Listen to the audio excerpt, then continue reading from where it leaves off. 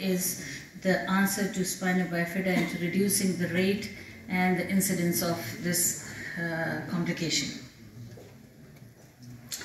What is spina bifida? Uh, for our younger students, I would uh, just go through it briefly. It's a birth defect in which there is incomplete closure and the membranes around the spinal cord during early development of the pregnancy. And this is as early as third and fourth week of conception. Incidence is 0.5 to 5% per 100,000 per 1,000 births and 15% is for occulta. Occulta is one of the types of it which we are going to uh. There are basically three main types of it. The uh, spina bifida occulta where the bones are a bit widened but the skin is completely covering over it and there might be a bit of hair growth on it apparently or maybe a dimple over the skin there.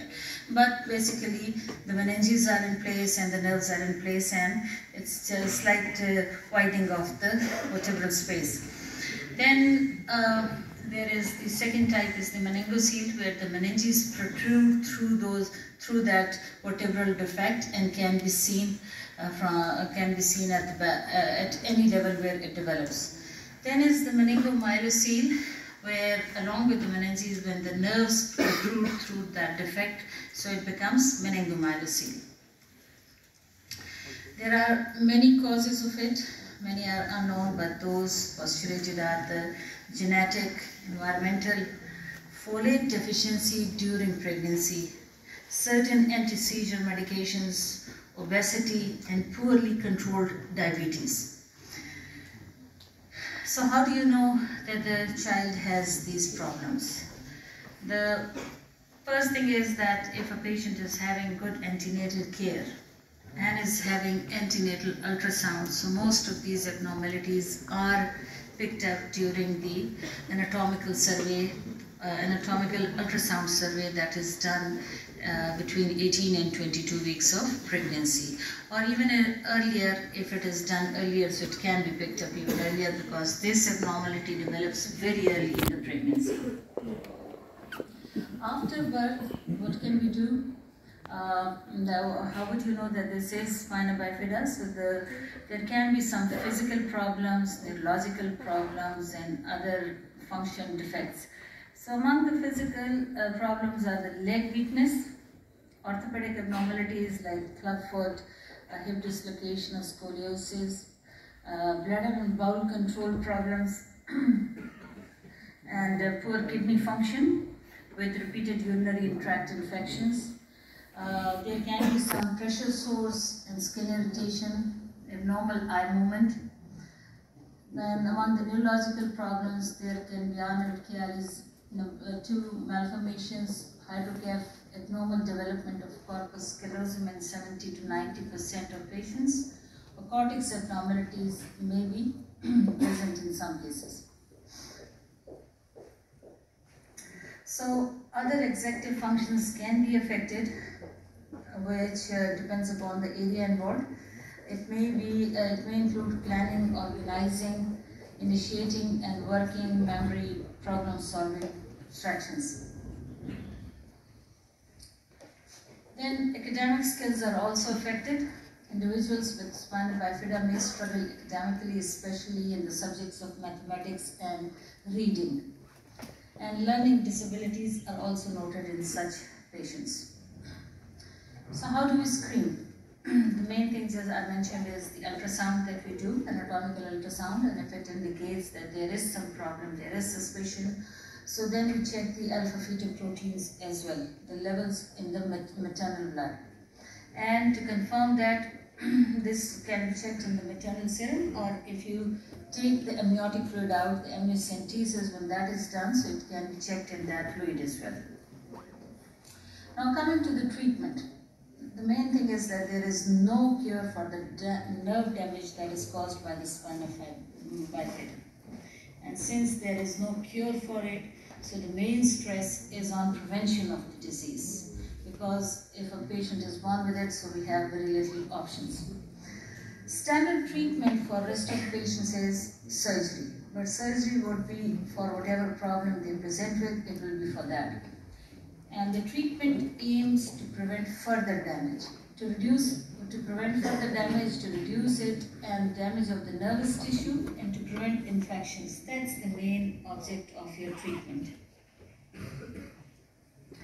And in the management of such patients, there is a team of different specialities that will be involved. It's not just the obstetrician before the birth and the neurosurgeon after the birth. It will be orthopedic surgeon, uh, physical medicine and rehabilitation physician, uh, neurologist, urologist, ophthalmologist, and so on, depending upon whatever the need of the patient is. So, involvement of different specialities is seen. Now, since we know that there is no treatment once the nerve involvement occurs, so the main focus would be on prevention of the disease. Prevention is with dietary supplementation of folic acid, and this has been shown to be helpful in reducing the incidence of spinal bifida. And sources of this folic acid are whole grains, fortified breakfast cereals, dried beans, leafy vegetables, fruits, and of course folic acid tablet in the tablet form. So much work has been done on the on this uh, uh, mm, uh, prevention of spina bifida, and we've got so many uh, so many um, papers on it where the main stress is on prevention. Uh, the main stress of prevention is on folic acid, folate fortification. Uh, in Pakistan and other low um, uh, to middle income countries, uh, while providing the um, health care, uh, the main concern is the finances. Most of the countries, uh, they do not uh, provide full medical care to the patients and patients themselves are supposed to pay for their medical bills. Very luckily, folic acid tablets are very cheap. They are like a full month supply would cost rupees 30, which, which would be a 10 cents or less than 10 cents. Yeah, just 10 cents of the US dollar. So the whole supply of month would be this much. And if you are going for prevention, if you even to, if you increase to the TDS dose, so uh, say 30 cents per month. So I mean that is affordable for many of our patients, and this is uh, this thing starts with the awareness. You, you, need to know that you have to give this to your patients. And the other thing is that uh, uh, the patients are willing to come for the antenatal and especially prenatal prenatal checkups. Once the patient has a baby like this, she is always very keen to have good antenatal care for the next pregnancies. So you always, when you, you, when you get a patient like this, it is not just this patient, but in order to prevent having further babies like this, you need to make her aware that she has to take this medication three to six months before planning her next pregnancy.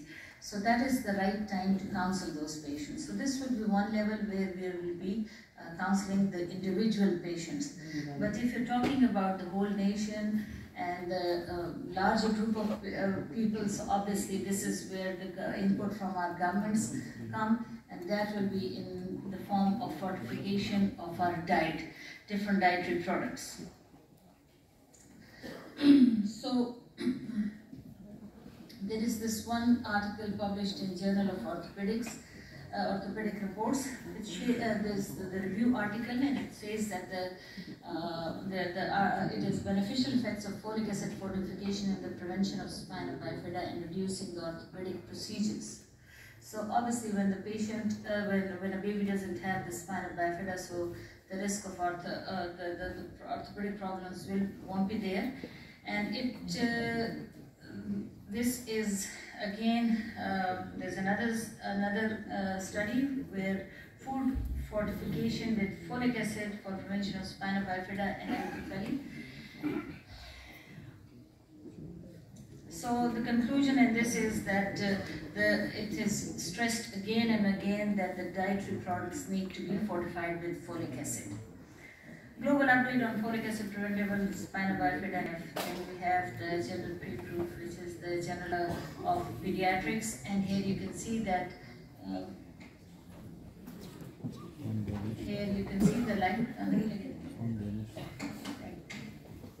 here you can see the line from the, uh, on that side of the line, the number of cases uh, were quite high, but once the folate fortification was started, so the numbers have reduced down. All the mening, uh, the occulta, the meningomyelin, the meningocele and the myelocele, all cases have come down. So once the, the fortifica- folate fortification was done. This is uh, for the childbearing women, the folate, folic acid supplementations is that we discussed, that, so that sort of a thing. And uh, whatever studies you pick up for the spinal bifida, the main stress is on prevention. Prevention is the main goal where you would uh, where we focus, and this would be uh, by providing good antenatal care. But of course, for that they have to have good, uh, they have to have awareness regarding uh, these problems and many other problems that they can have during pregnancy.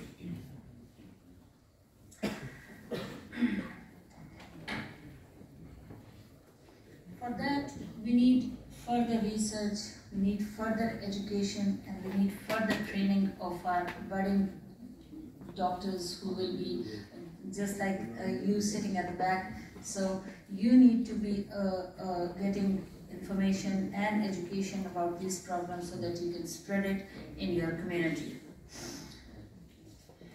Then again another study where uh, it is shown that spina bifida associated infant and neonatal mortality and case fatality uh, was declined when this fortification, mandatory folic acid food fortification was done.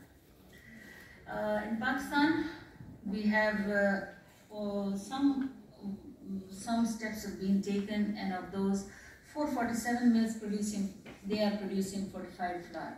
So they are in different parts of the country, but this is very little of what we should be doing, especially in our country. So wheat flour fortification project is there. This is the uh, in Pakistan, and this is one of the chakki atta, the, which is which is fortified.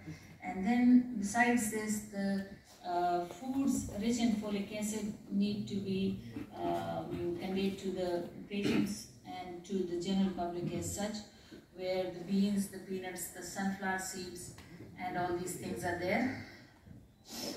Folic acid supplementation, just as we discussed that this is very uh, doable in even in our setups, and this should be done.